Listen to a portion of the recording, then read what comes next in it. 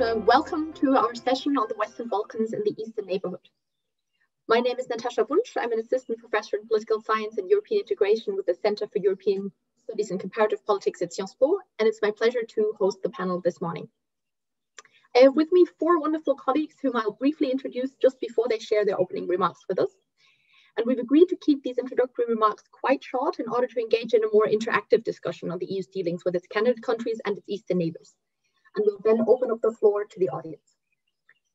I will invite the speakers to share their remarks in the order that they appear on the program. So first up, we have Dr. Irena Rajčinovská-Pandeva, Vice Dean for Science and International Cooperation at Iustinianus Primus Law Faculty at St. Cyril and Methodius University in North Macedonia. Irena, the floor is yours. Thank you. Thank you, Natasha. First of all, I would like to thank the organizer for, for inviting me to speak on the topic and keeping the discourse on enlargement of Western Balkans active.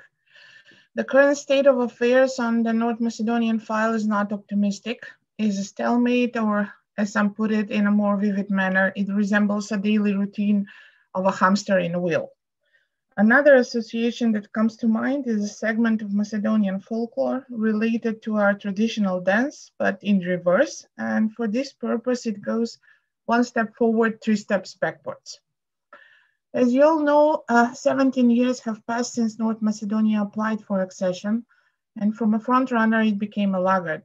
2020 was supposed to be a year of success for North Macedonia in terms of reaching its Euro-Atlantic goals. In late March 2020, North Macedonia became a full NATO member and uh, EU opened its doors along with Albania by reaching the decision to launch accession talks with both countries. Conversely, it did not include a specific date for the start of accession talks, while at the same time, it included a novel enlargement methodology and was coupled with the Commission's plan for the region.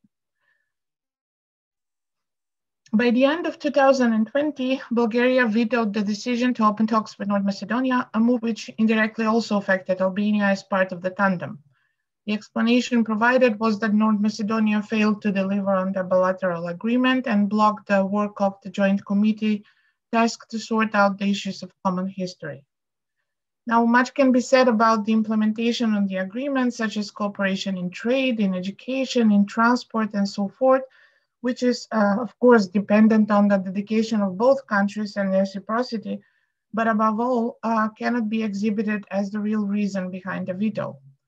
The Joint Committee was established under the agreement as multidisciplinary expert commission for historic and educational matters in order to contribute to the objective and scientifically founded interpretations of historic events. So it has a mandate to discuss without a set timeframe and has done so in the past years with a limited success due to the extreme Bulgarian positions that tackle the foundations of Macedonian national identity. Despite the signing of the bilateral agreement and the mechanism of dialogue and cooperation provided by it, Bulgaria chose to block the accession. Uh, it has objections, keeps highlighting additional notions, which to outsiders may seem trivial and benign, and its position is increasingly entrenched in spite of mounting pressure to entangle the enlargement process.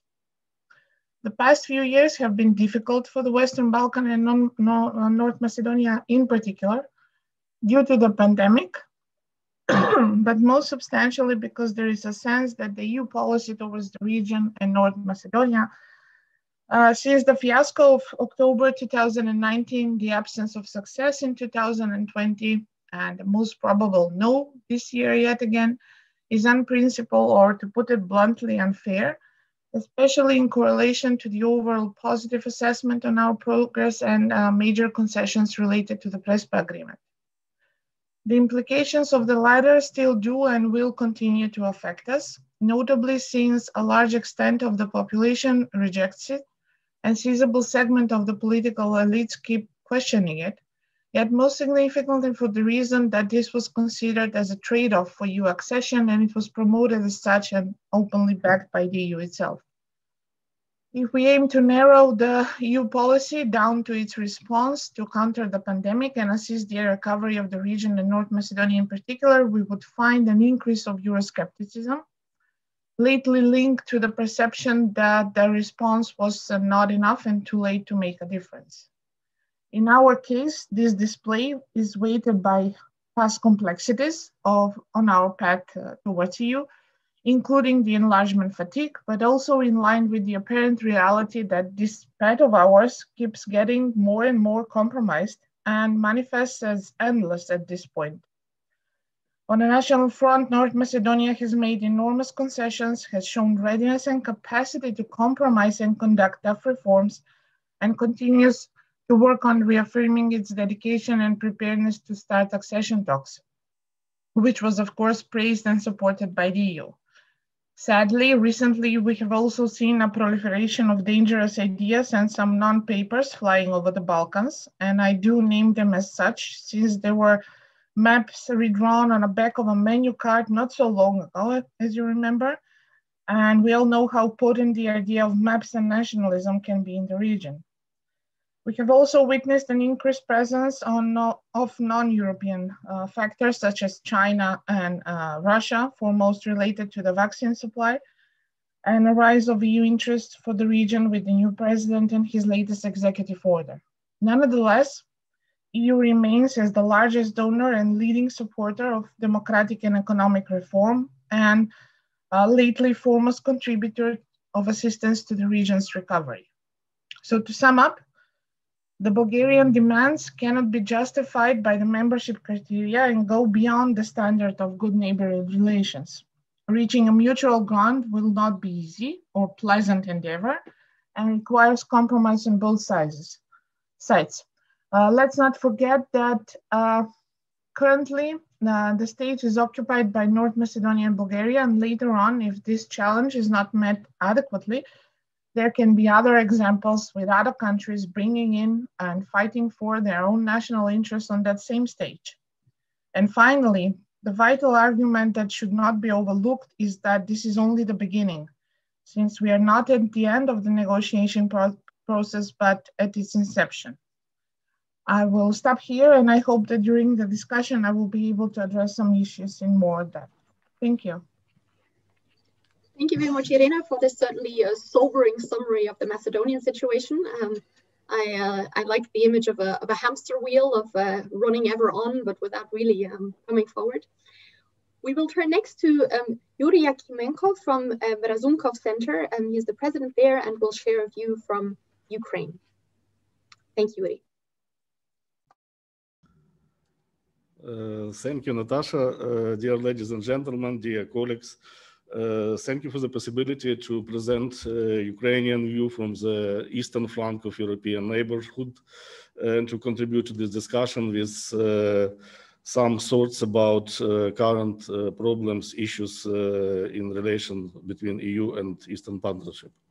Uh, first of all, I would like to uh, remind that this year Ukraine will celebrate 30th anniversary of its independence, and more than 20 years, we are living with proclaimed goal of Ukraine accession to the EU. If you recall historically, the respective state document has been adopted in 1998. But uh, before uh, Ukraine, from the very early years of independence, have selected this uh, geopolitical choice and civilizational choice and started to build and to modernize the institute of statehood uh, in a European way. And uh, further, it was uh, uh, confirmed by the first Ukrainian constitution in 1995. Uh, now, uh, topic of promotion of democracy and rule of law uh, is again obtaining additional topicality in order to geopolitical context and recent proceedings in the, the countries of Eastern Partnership. I keep in mind, first of all, dramatic developments in uh, Belarus, in Belarus, uh, cut political conflicts uh, and contradictions in Moldova and Georgia, armed conflict between Armenia and Azerbaijan in Nagorno-Karabakh, uh, permanent threat of escalation in the zone of Russian-Ukrainian armed conflict, and so on. Uh, in our view, general processes and trends uh, in our region gave us, us a ground and possibilities for the following uh, conclusions.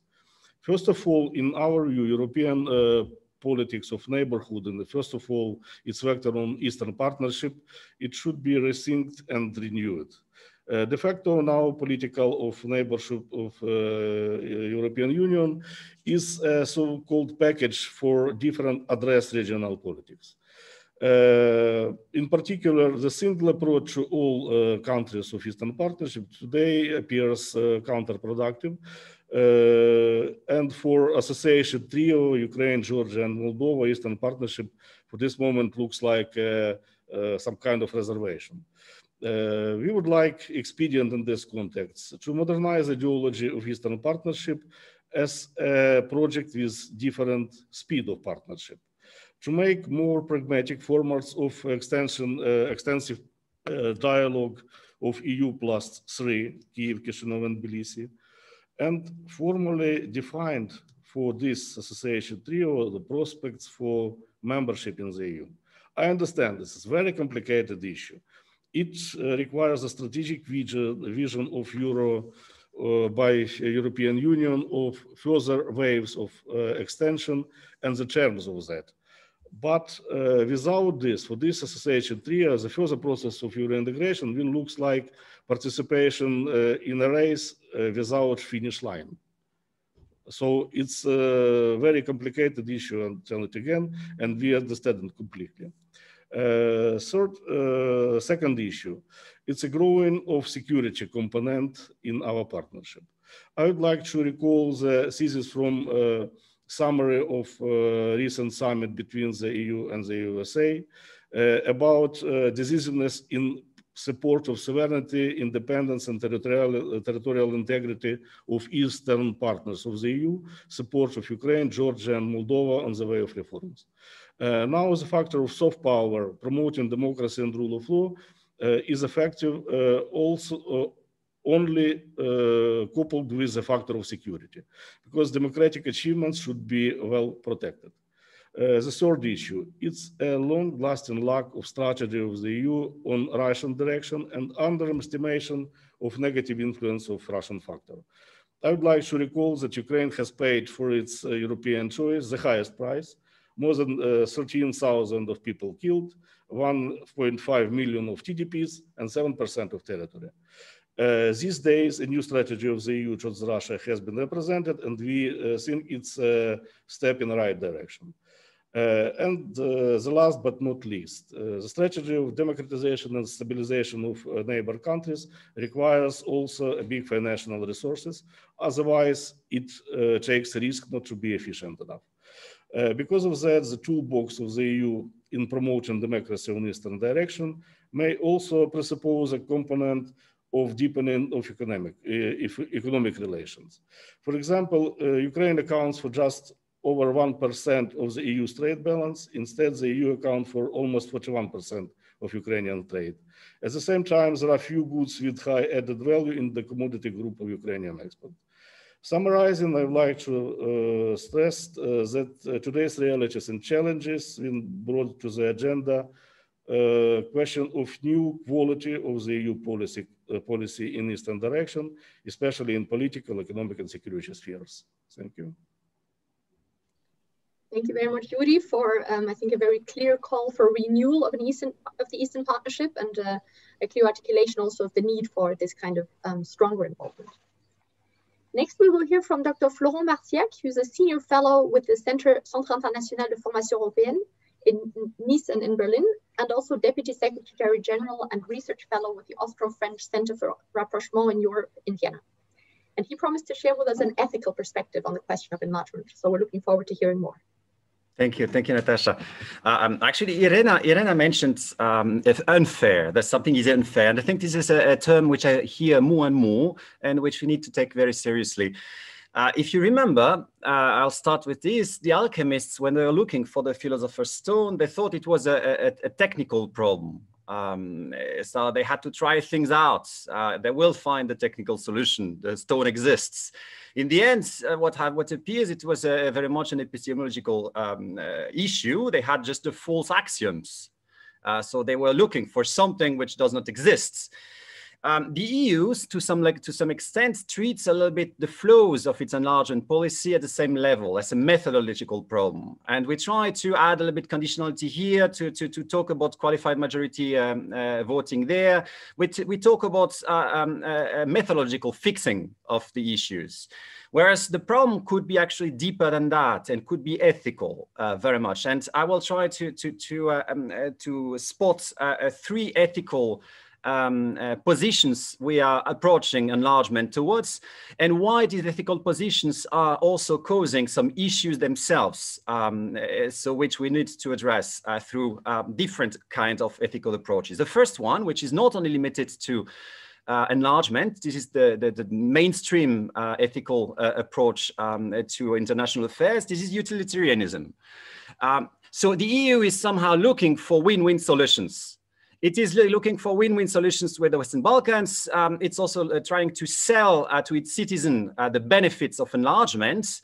Um, so in this kind of utility, utility is the yardstick for the reason behind enlargement. The problem with that uh, approach of, uh, of enlargement um, is that utility changes uh, depending on context, depending on, on, on, on, political communities, so states too, over time. Um, so it makes the whole process very unpredictable if uh, uh, utility uh, or utilitarianism is dominant. Um, another ethical positions or justification for enlargement, if you, if you will, is merit, individual merits. So the EU should enlarge because accession is a, merit-based uh, process. Conditionality um, is a proof of that. And um, success is deservingness. So uh, the enlargement uh, should come um, because the countries deserve that. The problem, there are two problems. First of all, uh, the accession is not de facto a merit-based uh, so a process. Um, we've heard Irena about that. Um, uh, so the, the, member states do not follow necessarily these ethics. And, uh, but more generally, even if it worked, having a, a, an ethic based, uh, so a merit-based ethic to enlargement uh, has some, some unexpected consequences. the winners feel very empowered, very proud to have succeeded, where the laggards, um, well, it is up to them. They could not do it. So it, it encourages this kind of hubris of, of winners and resentment among the losers it is something which is not encouraging uh, social uh, social harmony um, in the region. So uh, this is this is linked to conditionality. There is another aspect of it. Um, it empowers techno so a technocratic culture of governance because merit is is, is assessed by technocrats uh, it's not it's not a common good which is which is so much uh, valued. The third one we could say is a, the, so a deontological uh, approach to ethics. So the eu should engage because because it's about peace. It's a peace project the eu um, so accession is somehow the, the ultimate stage of maturation uh, for for states uh, after they have transformed and um, in building this community. The thing is like, uh, it is very much built on a fable, a, a myth. Um, uh, so there's an interesting video by, by, by Timothy, uh, Timothy Snyder about it, which he called the fable of the, the wiser nations. The EU, when the, so the, the, the initial member states joined, so created the EU, they were waging wars everywhere, colonial wars, imperial wars. They were debris of, of, uh, of imperial states which collapsed um, uh, so the, uh, for the earlier ones. And later for the Eastern countries, there were debris of Soviet Union um, uh, uh, so polities also collapsing. So my point is presenting the EU as a union of wiser nation uh, tends to suggest that we are better than the Western Balkans and the project of, of European in, in, Union needs to, to be a little bit sacralized. Whereas de facto what happened in history, it was just uh, a salvage project for communities, politi political communities, which were very much struggling. Uh, so we should not forget that um, because we benefited uh, in the EU of that. There is no dividing line uh, which can be uh, ethically um, justified between the Western Balkans and the other countries. I'm finishing by, by saying three things uh, now very shortly, which it, we, we, we need to consider. What kind of implications do we have? If we read at these flows, first, ethically, we need to, to get in our heads that we will have to get to, to, to accept countries which are not ready to get in the EU. That's the first thing. This is to alleviate the, the, the problem of the utilitarian ethics.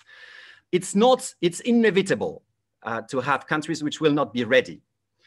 It's also going against the merit-based. We will have to consider more, op more openly uh, the, the common goods. In the region, it's, it's again an individual approach. We need a regional approach because the common good go goes beyond this bilateral state-to-state uh, uh, relation between the EU and the countries of the region. And third, we need to desacralize the EU as, as, as, as achievement of maturation for, for, for, for, for nations.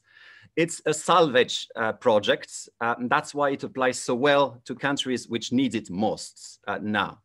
Thank you. Thank you very much, Florent, for sharing this original take and also uh, for walking us through some of the practical implications that, um, that this would have in terms of EU policy. The, the final um, speaker in our pa panel is an official representative of the Slovenian European Council representative uh, presidency, sorry, that brings us together in this pre-presidency conference. Peter Grk is the national coordinator for the Western Balkans for Slovenia's Ministry of Foreign Affairs. Peter, we look forward to hearing from you. Uh, you're muted. Can you unmute yourself, please? Thank you very much, Natasha, and uh, thank you to organizers for inviting me to this uh, interesting conference. Um, first of all, um, while listening to Florent now and understand why he's a doctor and I'm not, you know, because uh, uh, you could see that uh, behind his thinking uh, there is a great amount of work and uh, a process of uh, trying to understand how the whole enlargement policy is working. I would like to be a little bit more maybe superficial, but also a little bit more uh, clear in a sense that I think what we have right now in the enlargement process of the European Union is the absence of strategic decision. I think this strategic decision about enlargement has not been uh, truly taken by all the members of European Union. And uh, while uh, we have this absence, uh, we are trying to fill it with uh, tactical instruments. What do I mean? What do I mean?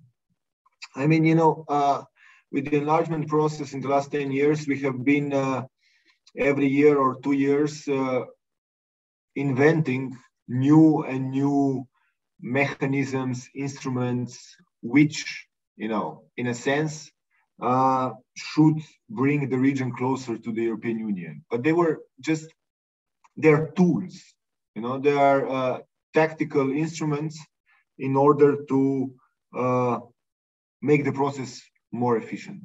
But they are not, and they cannot replace a strategic decision based on political will, based on ambition, based on passion, in order to uh, bring this region closer to European Union. Uh, I think a lot of uh, you used some metaphors. Uh, let me do it also. I mean, you know, for me, it seems this region of the Western Balkans is like an unwanted child. You know, it's yours. You know, you know that you have to take it into the house you just don't want to yet. Or you don't know how to do it in order that everybody is happy. And as all unwanted children you know they then they turn to their own devices. They turn to uh, the other actors or other uh, people. And this is what we are having right now uh, in these relations between uh, eu and the western balkans. I'm not saying nothing was done. I say i'm saying that we are using tactical instruments uh, because we haven't really had a proper strategic discussion inside of European Union why it's necessary, why it's important to uh, bring these countries uh, into the EU family. You know? And I hope that uh, also this debate on the future of Europe is going to address uh, this important question uh, of enlargement, of uh, where the borders of Europe are, of what and how should we deal in the future with the countries of the eastern neighborhood. I saw and I listened to what Yuri was saying. I think the same applies also to these countries, you know. How do we match ambitions of others and how do we, because we are the European continent, work together in order to preserve the best project uh, ever in history because I truly believe that European Union is something that uh, is uh, truly remarkable. And in this sense, uh, I would like to point a couple of things that the Slovenian presidency of European Union would like uh, to do in the next six months. First of all, uh, of course, uh, you know, and Irena was alluding to that. I think if we want to send a signal of hope, if we want to send a signal of enlargement big being in the geostrategic uh, uh, area of uh, European Union, then uh, we need to start negotiations with North Macedonia and Albania. I think this is something that is crucial. It's something that uh, will show that enlargement is still alive, that it's something of a policy which for European Union is important because let's note one thing, and this thing is important, and this is why I was talking about these tactical uh, instruments. We have adopted a new methodology on enlargement. I think it was in May last year, or it was even in April. I don't know. I don't remember. Since then, we haven't opened one, not even one chapter, cluster or whatever, with any country of European Union, uh, of uh, Western Balkans. Not one.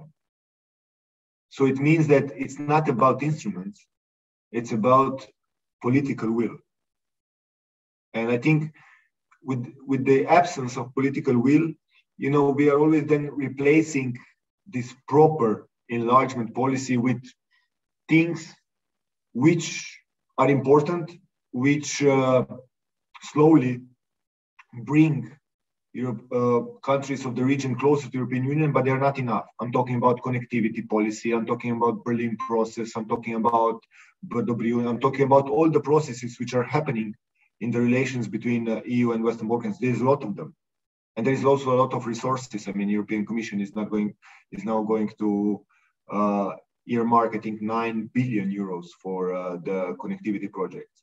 But all this, it's not enough without a tangible enlargement uh, process because this enlargement policy is the one who is transforming the countries who is uh, bringing the values the norms and everything that the european union represents so this is one thing second thing is this parallelism on one side continuing enlargement on the second second side uh, doing all the connectivity uh, projects which are necessary to uh, bring uh, the region closer to infrastructural, economic, and uh, energy corridors of European Union. So we hope that with this new economic and investment plan of European Commission, some of the things are going to go a little bit faster and be implemented. Third thing, uh, green agenda, decarbonization. I think this is a huge story. This is something that we would like to really bring forward also in the Western Balkans. But again, you know, something is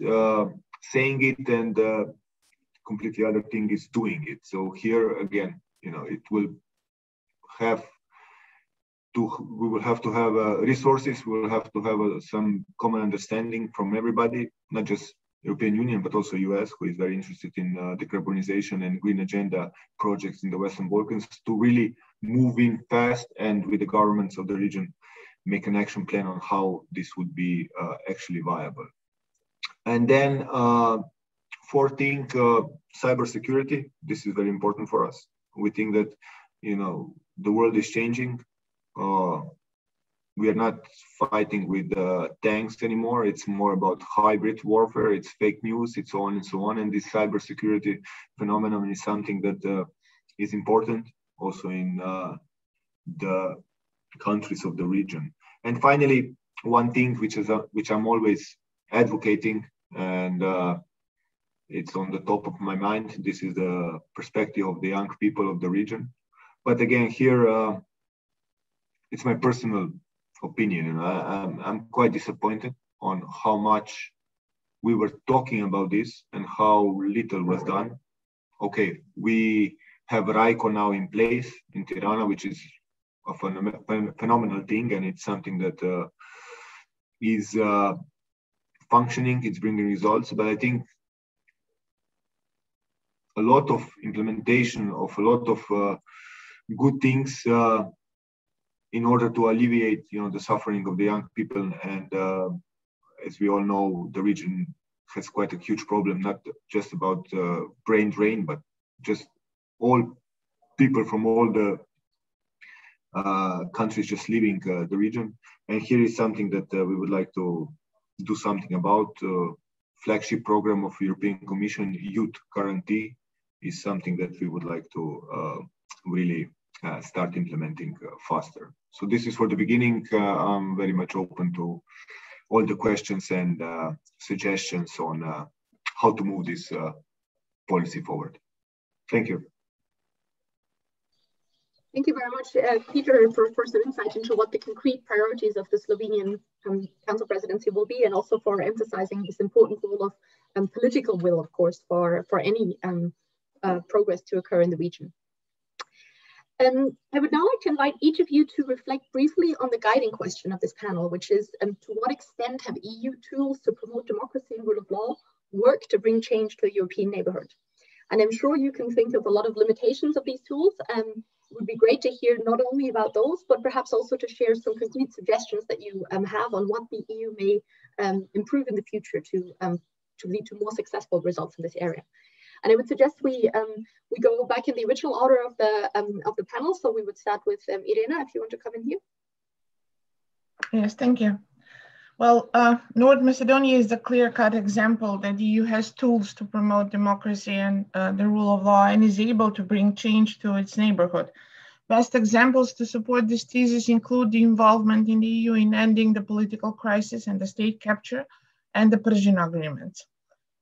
The deliberation on regional and national status considering these challenges is crucial since it's omnipresent and goes hand in hand with the prolonged EU integration. Namely, the absence of clear viable EU perspective is fairly responsible for the Western Balkan malaise. It has most undoubtedly produced a great level of Euroscepticism over time. However, what we really need to be concerned is actually the future of the process itself and how do we counter the diminishing effect of the delay.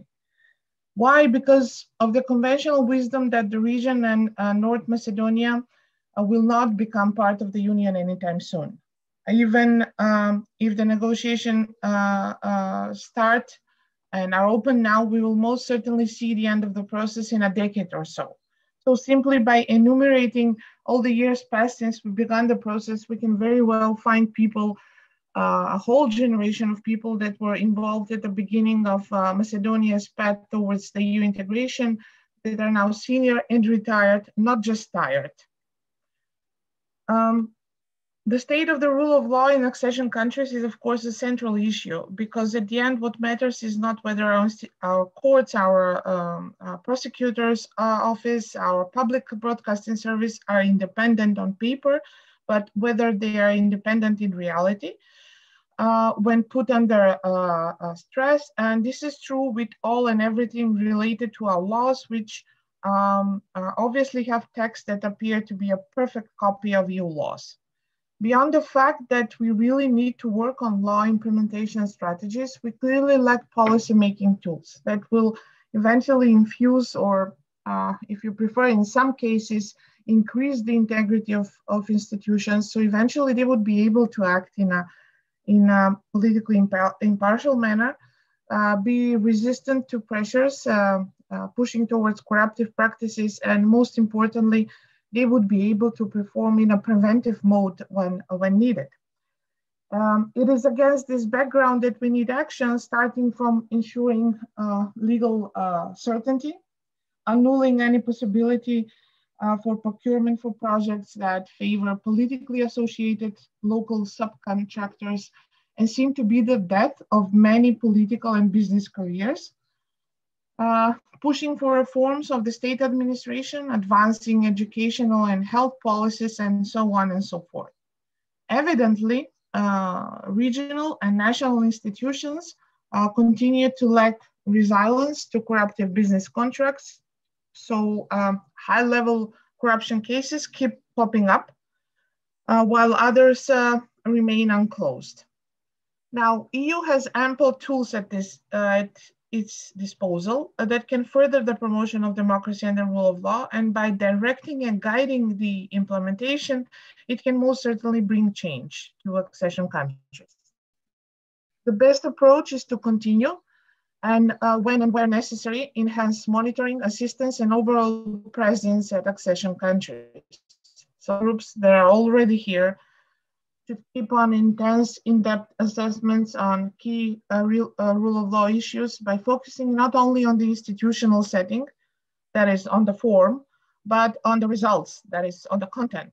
Following the successful outcomes of this kind of engagement, such as the Priebe report, further in-depth monitoring and in-depth assessment proved as essential and should be welcomed and supported. With regards to democracy, only a step forward to accession, again, can assist, can assist the bettering of the democratic health and shifting the discourse away from stabilitocracy, which has dominated the political agenda and policy towards the region for so long. And ultimately, without a positive response soon, I'm afraid that the door is open for any and every possible scenario. Let's not forget that 18 years have passed since the EU made its original promise of membership to the six Western Balkan countries at the Thessaloniki summit. And the maturity of the policy seems to be aged enough uh, so it can be implemented. Uh, further stalling of the process will for surely affect the EU as well by making its leverage lose its edge. And um, eventually the Europeanization of the Western Balkans including all of its challenges, will slow down and stop, which is of course an unwelcome scenario for all.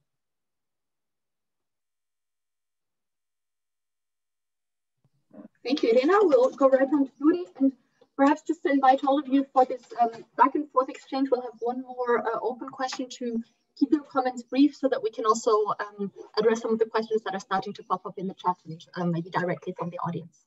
Over to you, Yuri.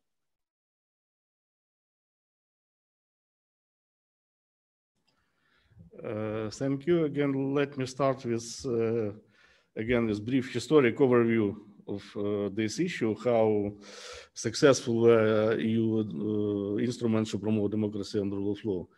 Because in fact, as I started, Ukraine started the process of Europeization of the political institutions in the beginning of 90s. And to the beginning of 2000, we already have a political system uh, and the system of governmental institutions very uh, maybe uh, similar to the EU members, at least EU members and new members who joined the EU in 2004 under the wave of, of enlargement of 2004. Uh, after that, we have a different periods with different success. Uh, some of them were more successful, some of them less. And it uh, depends on the different factors. And first of all, uh, conditionality may be successful from Ukrainian example if in the end there is some tangible result for the people and political elites. Uh, the most successful period uh, starting after the uh, Euromaidan and the Revolution of Dignity 2014 and lasting until 2019 was linked to the promise to Ukraine to have a visa-free uh, regime with the EU countries. And this, uh, it was very powerful tool because the public opinion wanted very strongly and they pushed political forces in order to adopt legislation necessary for fulfillment all conditions that uh, has been established by the EU and all the provisions of uh, association agreement uh, on political association and economic integration. So it was successful experience. But uh, there were some less successful examples. For instance, uh, uh, system reform of judiciary system. There were several approaches under different uh, presidents with the participation of EU and other international partners of Ukraine, uh, where position of uh, European experts were changing. It not take into account uh, sufficiently a real situation and real design of the system and circumstances under which it works. Uh, for instance, uh, Venice Commission in uh, different years give very contradictory uh, advice uh, in relation of composition of Supreme Council of Justice. It's a body that appoint and make a disciplinary procedures in regards of judges in Ukraine. So different approaches to composition now, which has changed completely in comparison with the previous one. So uh, we also have picked up another examples more or less successful, but in general, uh, it leads uh, us to uh, creating more European uh, introduction of more principles of uh, democratization and rule of law, but with some examples that our own peculiarities and conditions, uh, conditions uh, situation uh, within the country required more efforts to understand and to produce something new, not to try to use the approach one size fits all. So uh, if to summarize, uh, uh, I can just mention some points from our Ukrainian experience that make these efforts more successful.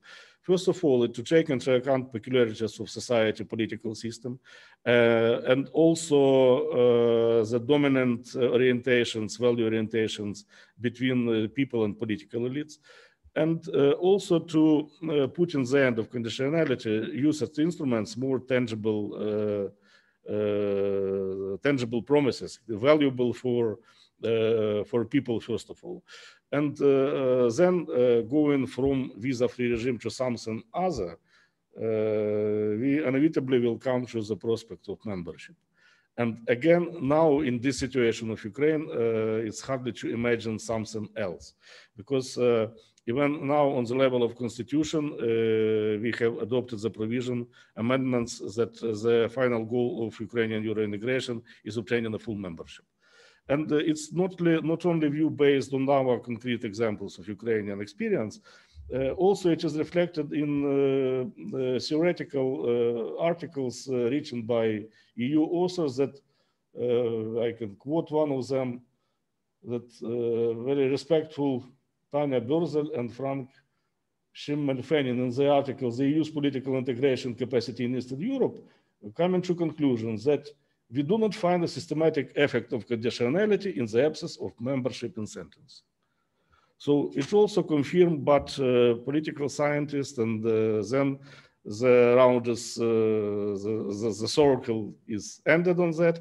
And uh, in that, I can uh, support Peter in his observations that Western Balkans need to uh, start this process in order to make an example for for us for instance for eastern uh, partnership countries that to make it possible that this goal is reachable in the closer or further end but uh, we must understand it clearly. I think it's uh, it is very important for success. We have a lot of tasks now to do. We have to uh, continue reform of of governing system, of judiciary, of anti-corruption institution, and so on and so forth. We have a lot of uh, things on agenda, but uh, we have to know that in the end, we will uh, we will have this possibility. And uh, again, uh, referring to uh, to Florent comments on different approaches of political philosophy or a value or ethical based approach, I think that finally uh, the pragmatic approach uh, for the EU that Ukraine and other Eastern European countries, Eastern Partnership countries, may be a benefit for the EU. It's not a burden, it's not a problem, it's a part of solution of some problems. I think that if this approach prevails, probably it will be easier to make strategic decisions. Thank you. Thank you, Yuri, also for clarifying that, of course, the countries of the Eastern Partnership are looking to progress in the Balkans to see some sign of hope um, there, and that uh, the absence of any progress there is, is, certainly not very encouraging for, for these countries that are kind of second in line.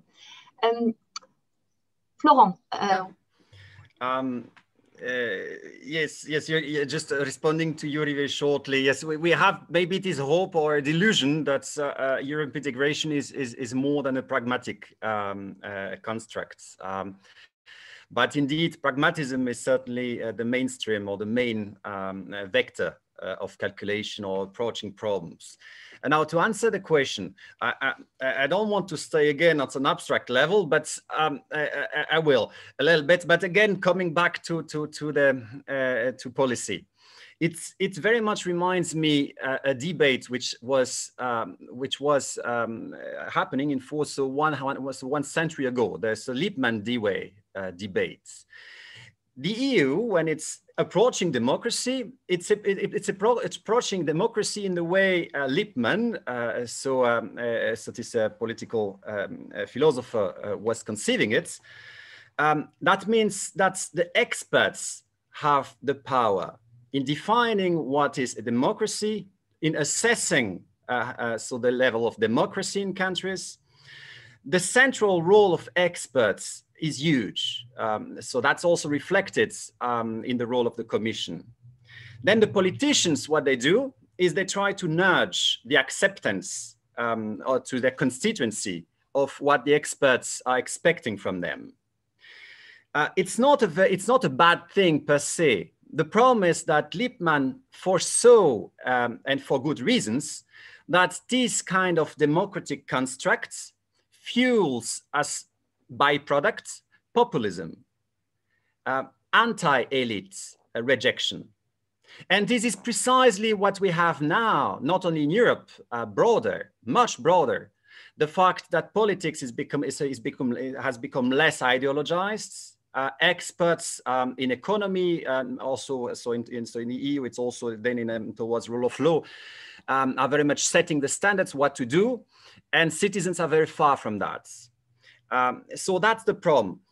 The, the counter argument of Dewey was that democracy is, is an experimental uh, project. We don't ask experts, uh, experts. We try, we try things out from the bottom rather than top down. And this is what the EU is not doing, but maybe could try to some extent. It's not an either or, but it's rather balancing a little bit the approaches with the Western Balkans. It certainly does not help when the Western Balkan citizens are not, are not involved, are not included, so whether in the Conference on the Future of Europe, but also in the making on, of the norms which then apply to them. It's a, a non-negotiated uh, process, unilateral from the EU. The EU demands, and you will use the civil society organization to make sure that this is applied. But in terms of resilience, and sustainability of change, it's much better if you design uh, standards together with the first concerns because they will have a so an additional incentive in respecting that. So it's it's a little bit this approach uh, which can be a little bit thought through. Concretely, concretely, I, I, I would have just two final points, very short um, uh, to strengthen uh, the ideas, to strengthen um, that, I would think about uh, civic, civic education, EU civic education. When we think about um, uh, democracy, is it strengthening democracy? Uh, that's one thing, but we, we should also think about EU democracy. Is it strengthening EU democracy? It is a different level of democracy. And the way we conceive ourselves as citizens, are EU citizens, I am really not sure we are preparing the citizens of the countries in the region to become EU citizens. Uh, it's not it's not the way national states would prepare their, uh, their own citizens and constituencies. Uh, uh, so, but the EU has this very top-down uh, way of, of, of, of doing that. The second thing, and very shortly, is to approach maybe mobility um, as a political project, not as an economic uh, not as an economic, uh, you know, with brain drain or an issue, but very much as an as as, as a political European political project. If you if you I will not say force because it's too much, but if you incentivize a lot people to move around, uh, you are creating different routes for them. You are broadening the horizons. You are expanding, giving room to this uh, European citizenship um, uh, acknowledgements if people stay, and it, it, it is as much for EU member states as for, for West Balkans, but if they stay where they are born, or maybe move a little bit in the same country, EU democracy will remain uh, uh, somehow a little bit abstract thing. They may have a national democracy, but to make it live, you need to, to, to urge people to move around and to settle somewhere, to get married to other people, and so on. This is how you develop this kind of, uh, of European community, um, which, uh, which we could work on. Thank you very much, Florent. And um, we, will turn now to, um, to Peter. And I would like to invite you, apart from reflecting on the initial question, to perhaps also pick up on this first question in the chat by Dr. Anna Bojinović-Fenko, um, asking you how Slovenia is concretely contributing to um, making enlargement a strategic decision by EU member states. Thank you. Thank you very much, uh, Natasha. And uh, also, mm, thanks for the question from uh, Anna. I'm going to be, yes, I'm going to be quite practical. Regarding your question on the tools, yes, of course. As I was explaining already in the beginning, we have all the tools uh, necessary to uh, bring uh, this region into the European Union. Uh, the problem is that we are not using them uh, efficiently. We are not using them uh, in the right manner. saying that, of course, you know, it always takes two to tango, and there is you know this uh, lack of urgency on the side of the European Union, but there is also a lack of urgency on the side of the political elites in the region to actually move forward with the necessary uh, reforms.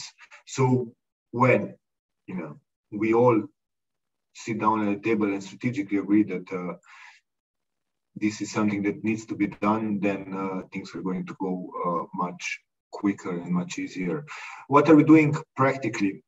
Well, one thing which uh, for me it's very important, and I think that uh, it could provide this setting for uh, this kind of debate is, of course, uh, EU Western Balkan Summit, which uh, it's going to take place on the 6th of October during uh, Slovenian presidency in Slovenia, and we hope to use, you know, this top echelon of politicians uh, and political elites in Europe and Western Balkans coming together to see uh, and to really sit down and discuss how we can all collectively bring this uh, region uh, closer to European Union. So in practical terms, you know, uh, we also hope that uh, the inclusion of countries of the region into the whole conference or on the debate on the future of Europe is also an opportunity to hear this voice of uh, why is important uh, that uh, this region, which geographically is in the heart of Europe, also becomes part of European of European Union. So in this sense, we really hope that you know with a new emphasis on the on the Western Balkans, and we can see that uh, there's a lot of discussions going on right now. We have the summit of Berlin process on the 5th of July. We have, as I said, uh, summit of EU Western Balkans on the 6th of October. We have enlargement reports. We then have European Council uh, in December. These are the dates which are important because these kind of decisions I was talking about can only be taken at the top level. And uh, we are providing a setting for these kind of decisions to take place. Thank you. Thank you, Peter. And um, as many of you will know, one of the main elements of TEPSA's pre-presidency conference is the preparation of a set of recommendations to the incoming European Council presidency. And um, I had the pleasure to draft these recommendations in the area of EU enlargement. And there were three recommendations put forward. Uh, first, to open negotiations with Albania and North Macedonia in order to translate the long promised credible membership perspective into a concrete and tangible process of negotiations. Second, to engage beyond the government um, in order to ensure sustainable and broadly supported reforms um, by enhancing collaboration with parliamentarians and ministerial staff, but also relevant civil society organizations and to foster more participatory policymaking. This also goes in the direction of um, remark regarding the importance of civic education and preparing the wider population for accession. And finally, to support an effective response to the COVID-19 pandemic in the Western Balkans, both by providing direct support by, um, to local health systems and ongoing vaccination campaigns, but also by preparing more long-term measures to address the pandemic's political and economic impact in the region. And we'd like to um, perhaps go, go back to Peter uh, first as the official representative of the, of the Slovenian presidency to share his thoughts regarding these recommendations And I'll then invite the other panelists to identify what they may see as um, uh, additional priorities for the incoming presidency. Thank you, uh, Natasha. Well, basically, what I can say is that uh, it's a shame you're not working for us, you know, for the presidency, because uh, uh these recommendations are exactly the ones that uh, we also are trying to implement during our uh, six man six months presidency. Meaning that, in terms of including civil society, and we agree, you know, without this, nothing is going to move because civil society is the one who is making checks and balances uh, to the political elites, elites and putting, putting pressure on them to uh, move forward with the reform processes. We will try to also uh, involve them in the preparations for the EU Western Balkan Summit, maybe even on the margins uh, organize a conference, which would be dedicated uh, on civil society, their views, their ideas, their suggestions on the future of Europe debate, in what kind of you know Europe they would want to live. Because as I said many times, if we are talking about the future and we are not including countries of the Western Balkans, then this means that enlargement is dead. It means that you know if the countries which should and uh, will be part of the European Union uh, are not included in how and in what kind of European Union they would like to come to, then uh, we have a big, big problem. So, you know, we hope that uh, with this, we will also keep a voice to these people, especially uh, young people in civil society uh, organizations to, to put forward uh, their ideas. Thank you, Peter. Um, I'll invite the other three to, to, to, identify perhaps one, one main priority. And at the same time, I would like to already um, open the floor to um, the participants to um, either raise your hand if you would like to ask a question directly, or otherwise to, to, to write the question into the chat. I think we have at least one um, question there already that we'll, uh, that we'll share, and then we'll have really plenty of time to, um, to accept more. So perhaps in the, in the reverse order this time, so going, uh, going to Florent. Mm -hmm. Um, well, I don't have one. I have, I have maybe four, but very shortly. The first one is, goes very shortly because it's it's Peter's. I mean, is, I think it is a main one. It's a very important one. This conference on the future of Europe. This sends a terrible message uh, if if we don't find a room to to to um, uh, to, to to involve to, to involve them. Uh, so I, I, completely agree. The second one um, is, uh, but it's not a new one. It's it's again the Kosovo visa liberalization. I mean, this is this is this is again a shame. It's a two-standard thing. I mean, if we want to be a, a principled uh, EU uh, based on values, uh, we cannot have two uh, so double standards. Uh, approach to this issue. The fact that uh, Ukraine, Georgia, uh, Moldova have visa liberalization, Kosovo has not, um, cannot be justified in any ways, to be honest. Um, so that's a, that's the first, the second one. The third one is a little bit more daring, um, but it, it, resonates with the ambitions the Commission set to itself, so it's for itself of being geopolitical um, commission. Uh, I don't understand how the EU can have the ambition to become geopolitical if we ha still have five countries which are non-recognizer uh, of Kosovo. I mean, how can we uh, so aim or uh, so or strive for a common approach to big players like Russia, China, and others, big topics, when we are not even able to develop a common approach towards Kosovo? Um, so how to do that concretely? Some démarche could be initiated. Uh, it's it's it's it's like completely empty what is done here. Um, uh, so trying to launch some dynamic at least. Um, I know this will not happen to, tomorrow, but some dynamic of consultation. How can we can we can we progress on that topic? Um, I will just stop there. I would still have a few. Thank you very much, Florent. Feel free to bring them in in the discussion in a minute. Um, Yuri, uh, over to you. Uh, yes, I, uh, I would like, if you afford, to turn back to uh, recommendations. Uh, uh, I think it's very, very relevant document, and it's a very good practice of political scientists to prepare for decision makers such such a proposals. What I would like to probably to see there, uh, as I told already, it's a priority, such priority as uh, rethinking and modernization of uh, policy uh, of Eastern neighborhood, neighborhood, and especially uh, some differentiation for association trio, uh, to which Ukraine belongs. And also, uh, I have a couple of our own recommendations how we see will be probably better to make promotion of democracy and rule of law in our countries, especially in Ukraine. Uh, first proposal is to uh, strengthen uh, institutional framework for cooperation with the EU in the field of justice or, and home affairs. So participation and cooperation in a system of relevant European institutions, European network of judges, interdisciplinary platform for combating criminal threats, uh, European anti-fraud office, EU public prosecutors office and, uh, as well. And the second general uh, proposal, uh, to use the tools that has been implemented for the Western Balkans also for Eastern direction for Ukraine, Georgia, and for Moldova. It's a whole toolbox. I think it's not necessary to uh, name there uh, here in, in this discussion. And third component, uh, it's uh, importance of strengthening security uh, security component, uh, and it should be noted uh, separately, including questions of security missions, bilateral and multilateral military, military technical cooperation, combative of cyber uh, threats, uh, and so on and so forth. So these three components as uh, more communication in acting institutions, expanding of toolbox for Western Balkans through Eastern Partnership and security component, I think it will be more very valuable for general uh, thing of promotion of democracy, rule of law, and approaching of Ukraine and CEO countries to the EU. Thank you. Thank you very much, Yuri and Irena. Thank you.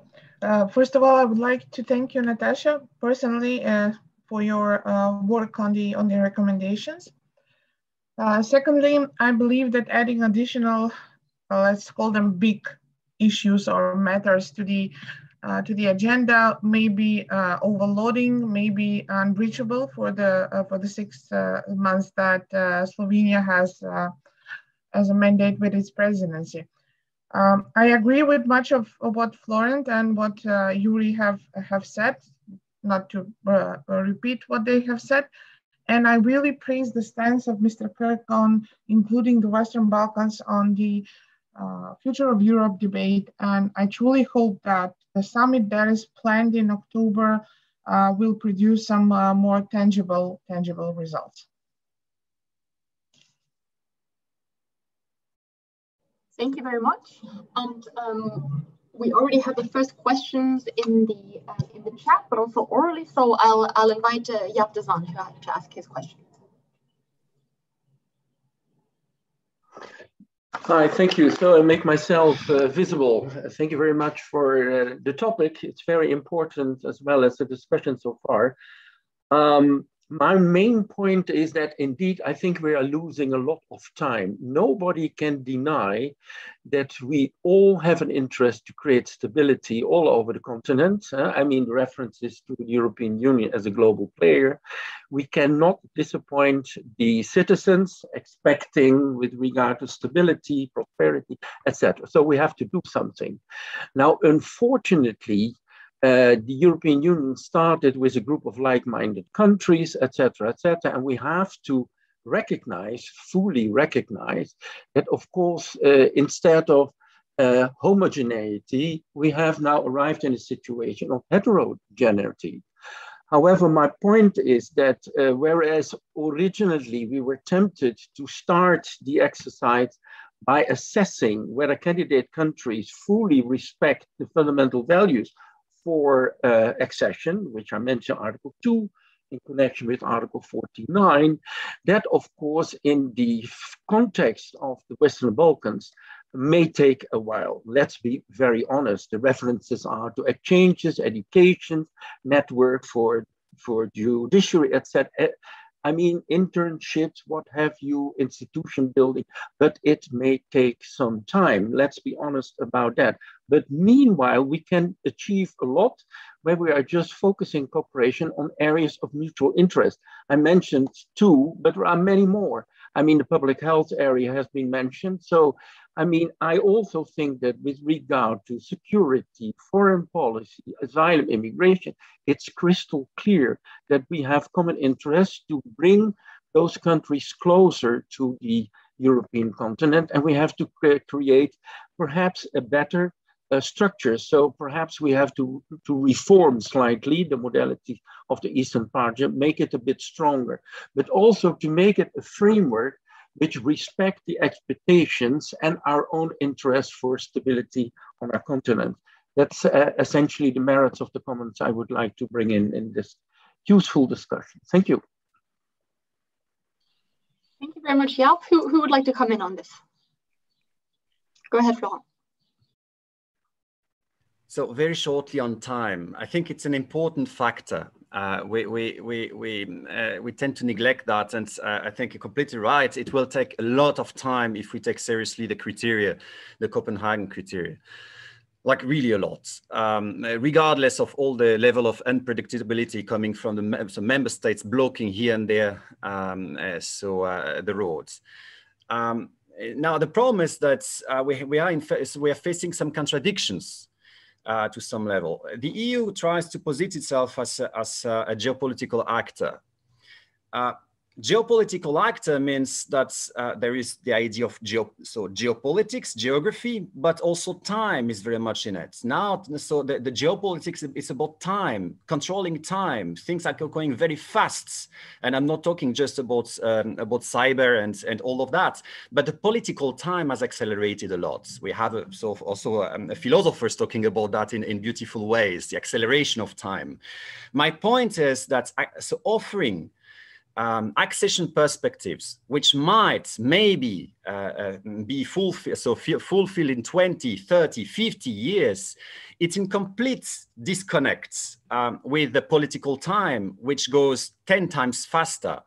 So geopolitically, it, it, it resonates completely empty um, because we cannot do geopolitics by offering something uh, which will happen in 20, 30 years. And Russia has understood that very well because it, has adopted that as one of the narrative against the EU in the region, saying, look, you will never get in the EU. The EU is just talking, talking, talking, but it's just blocking all the, also all the way through.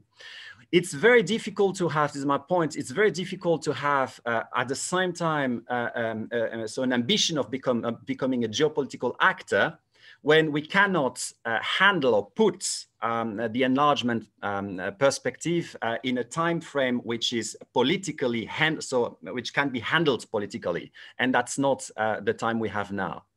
So we are facing a kind of dilemma.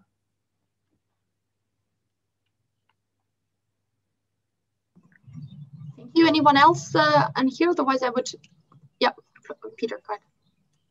Yeah no just uh, shortly uh, three things. Uh, one is basically in the recent uh, times we moved from a multilateral to multipolar world, and we can see this uh, if you look at uh, how the things are moving on in this uh, international uh, arena, which is a shame, but this is how it goes. So we have to adapt, or we need some time to change this again, and we will see how with the new American administration and this push for a new multilateralism, which actually nobody explained what it means, but it's there. Uh, we will see where we will go. But we live in a multipolar world, and this world uh, needs strategic decisions. Uh, von der Leyen, you know, uh, president of European Commission, said uh, at the beginning of uh, the mandate of this commission that this is going to be a more geostrategic commission. I still did, didn't or haven't seen that, but yes, it needs it needs to be you know it needs to be. And uh, time is of essence. Time is of essence because you know we can and i totally agree with uh, Jaap that uh, we need to continue with this whole connectivity agenda economic approaches uh, you know uh, building up regional common market. But these are not the values. You know we need the values. We need the transformation in order for uh, this region to to move forward and uh, time is of essence this is why i'm saying put positive pressure you know. Be active. Be we are just worrying you know. We are all the time we are worrying. And when i'm talking to my colleagues in you know they say you know i'm, I'm very worried about the western balkans. Well i have been worried for 20 years and it didn't change a lot you know.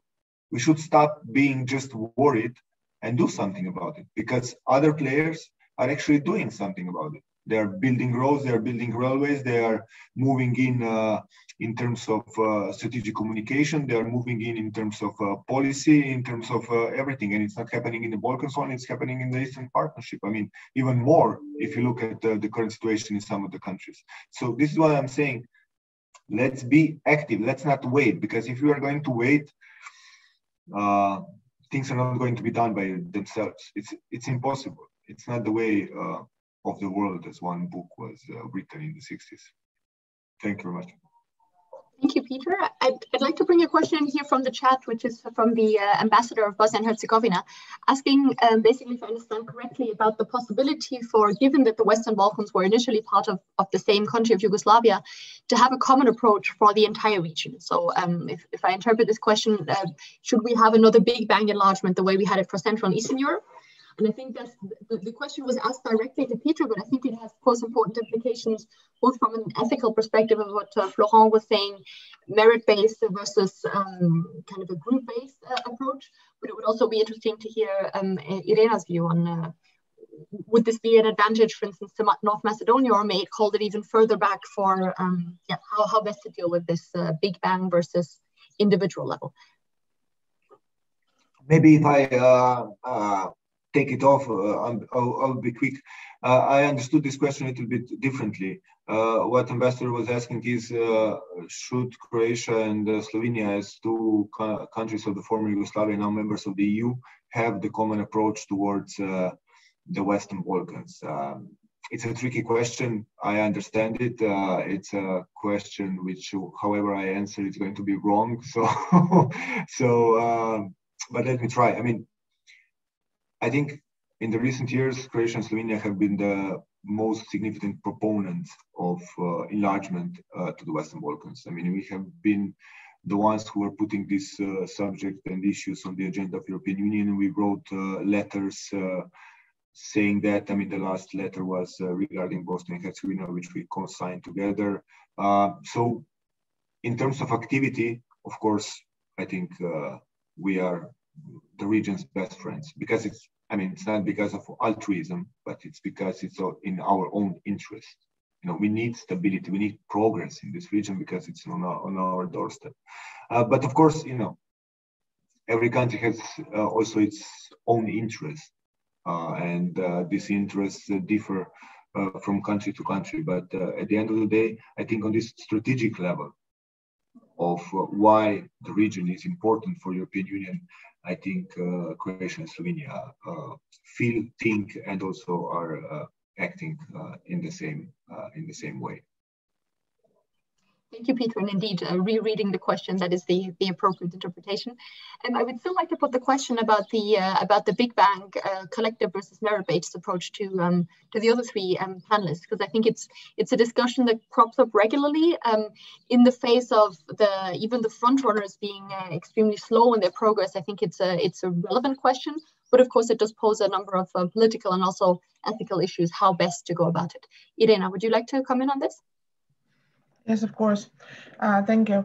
Um, I believe that the policy of um, of enlargement in uh, the policy of accession uh, should work uh, uh, in terms of um, uh, accepting new members after getting the, the assurance that the process of reintegration is based on the achievements of, of a country. Now, this can be problematic for the Balkans uh, because some are uh, doing uh, very well, some are, are not. Um, for example, um, uh, regarding North Macedonia, uh, the people who have been involved for a lot of time in the process say that North Macedonia is probably one of the best prepared candidates, which cannot be, for example, said of Kosovo, let's say, or other Western Balkan countries. Uh, strategically speaking, uh, a potential big bang would for certain stabilize the, the region. It will produce uh, stability and security. Uh, and evidently, EU is well aware of the geopolitical and overall multidimensional importance of the region for the Union, uh, chiefly in terms of security.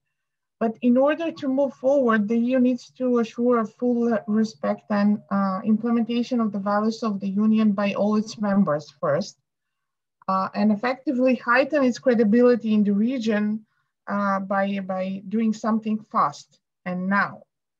The opening of accession talks will uh, allow uh, possibilities uh, to absorb all bilateral issues, not just the one we have at the moment, and uh, lower the present tensions. And at the same time, it will provide a venue for development of healthy relations, uh, not just on the relation of accession country and the EU, but between the accession countries themselves, and uh, build a mutual trust and respect.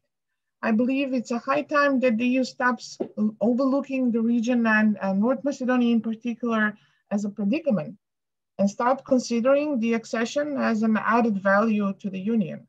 After all, uh, uh, when we're talking about North Macedonia in particular, relentless as we may be, the paradigm needs a closure. Thank you. Thank you, Irena. Florent. Yeah, um, it's it's a question which which uh, which I always um, I try to to defend quite emotionally. I must admit, but I mean it, the upset says so the, the road will be very long, and I, I I could put my my hand on fire that at some point every single country of the region will be blocked by someone, at some points. we, the, the countries now they may think oh, I will not be blocked because uh, because I will go through. No, no, I, I, at some point guaranteed if this is a merit based one by one regatta principle, they will all be blocked. So there are two ways to, to, to approach that. Either to say, well, that's the way. The rules are, are defined by the EU. We follow the rules, and we are a bit like, I don't say sheep, but we are passive. Um, we are passive and following what the EU says, or we take initiative and here, I say, I, I, mean, of course, the countries of the region cannot define uh, the standards, but they can, they can um, uh, create leverage to change the rules of engagement of the EU in, in, so in, in, in enlargements by putting forward, so forwards the concept of solidarity, so intra-regional solidarity, meaning instead of blocking one another, so standing for one another. So if, for instance, uh, so Macedonia uh, is offered to go forwards, Macedonia could say no uh, uh, because I would like to go together with Albania or the reverse. Uh, so that's the first thing. Of course, politically, this is complicated. But now uh, there is no room for political engagement. Um, so at that level, at the transnational level, where political parties will defend solidarity standing for, for the regions, uh, re so regional neighbors, there is no room for that. They all see uh, and uh, so accession as a national priority. No one is defending in the region accession as a regional priority. And I believe there could be some room uh, especially, uh, so for instance, in North Macedonia, but uh, for, for, for political actors engaging uh, so more transnationally uh, for that reason.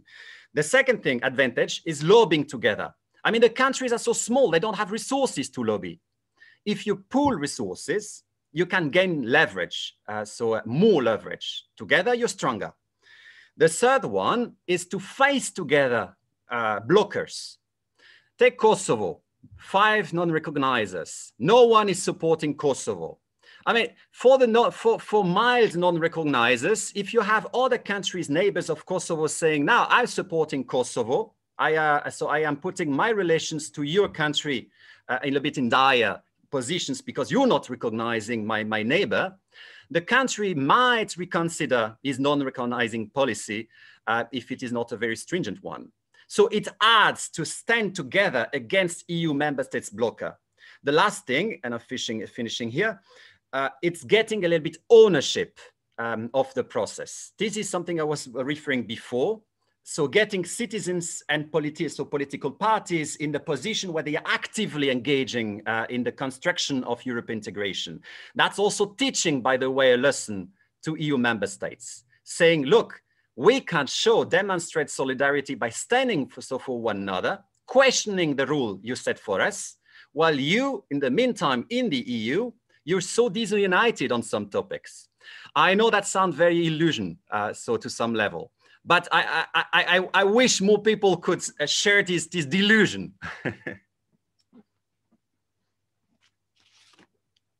You. I would, um, I would like to perhaps bring in here, because of course there, there is this major difference between the Western Balkans that have a membership perspective and uh, and the Eastern Partnership countries um, that do not.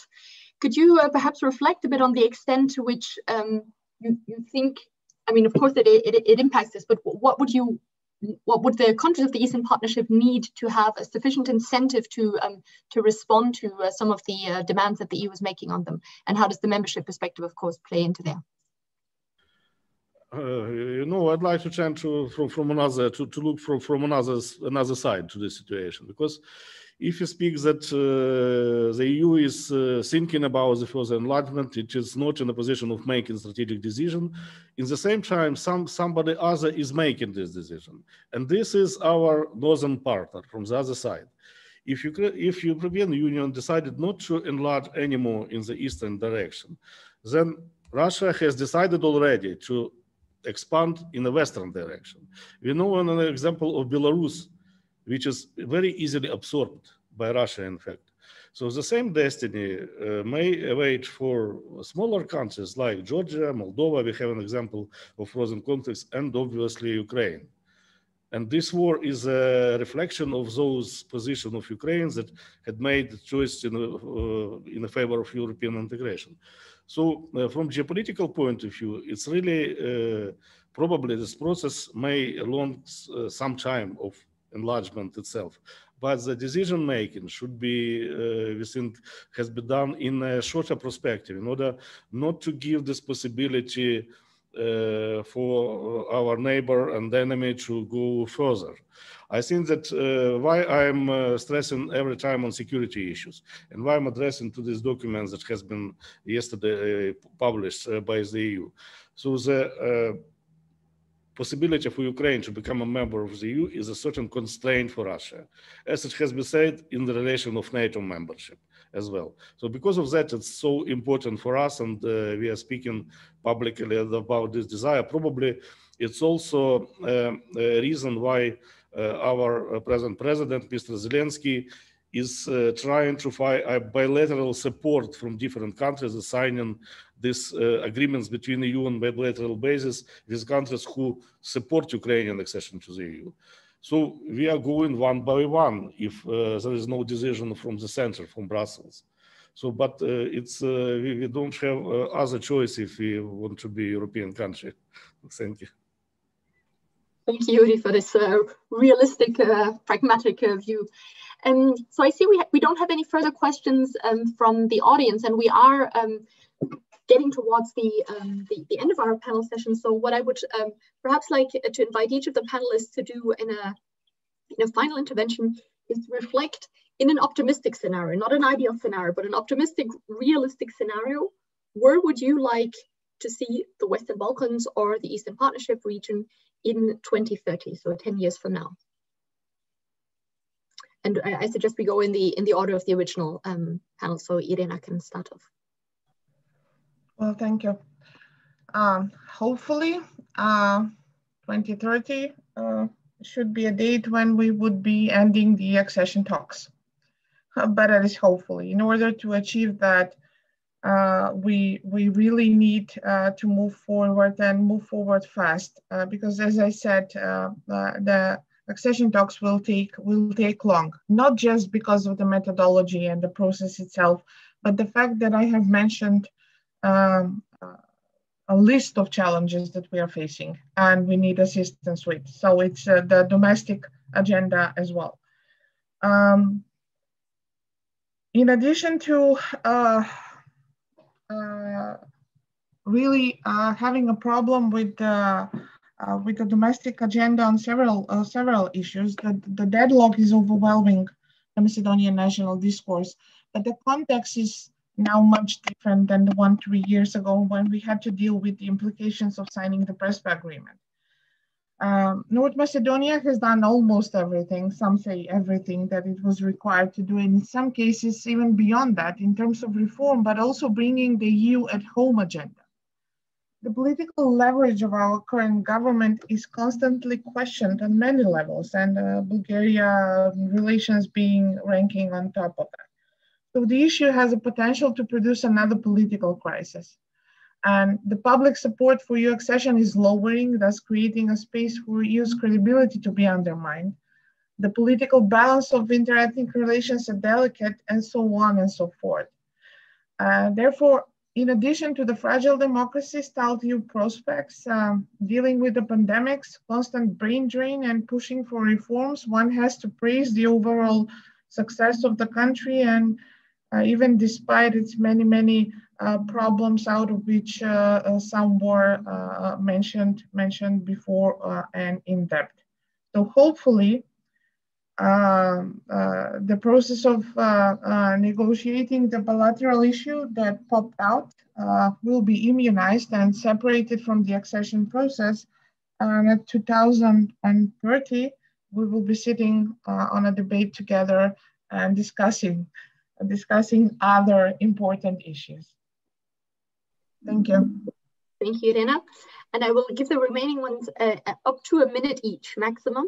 So Yuri, what would be your optimistic and yet realistic take for Ukraine and or the Eastern Partnership? Uh, yes, if uh, to look uh, ahead for 10 years to 2030, first of all, I, I would uh, like to see Ukraine as a country that uh, resolve this conflict with Russia and restore territorial integrity in a political way. Uh, then uh, we have to solve our uh, issues of domestic agenda. First of all, reform of judiciary, establishment of rule of law, anti-corruption, and so on. And uh, uh, of course, Ukraine is a country with growing economy. And uh, in a sense of uh, our relations with the EU, I would like to see Ukraine for that moment to be recognized as a candidate and maybe, probably, hopefully, in the process of negotiations. Thank you. Great, thank you very much. Very nice and concise. Florent. Yes, uh, so uh, since the differentiated integration is on the rise, uh, so I, I, would like very much to see Western Balkans uh, having some kind of membership status. Um, it can be a membership minus status, um, or if all uh, the members of the European Union remain with a membership status as a basis, it could be the membership basis, and all the other or some of the so other members would have a, a kind of a, a, so membership prime, depending of what's happening there. But some levels of uh, of membership, uh, I would I would uh, very much like uh, to see. Thank you. Some level of membership. I like uh, the the deliberate vagueness, perhaps, of the uh, Peter. Final words. Thank you, Natasha. You know, uh, by nature, I'm not a realist. I'm a uh,